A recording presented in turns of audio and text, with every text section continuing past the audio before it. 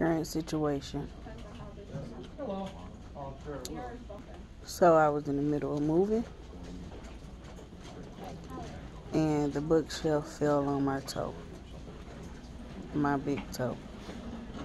So I think it may be broke. Stuck in the hospital.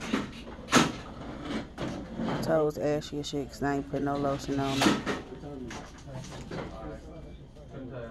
And I hope they come numb it because it's it's just shooting pain, shooting up my ankle. Yep.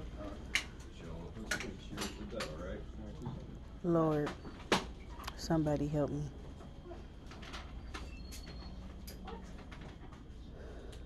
Let me know when I can get it, man. This is too much.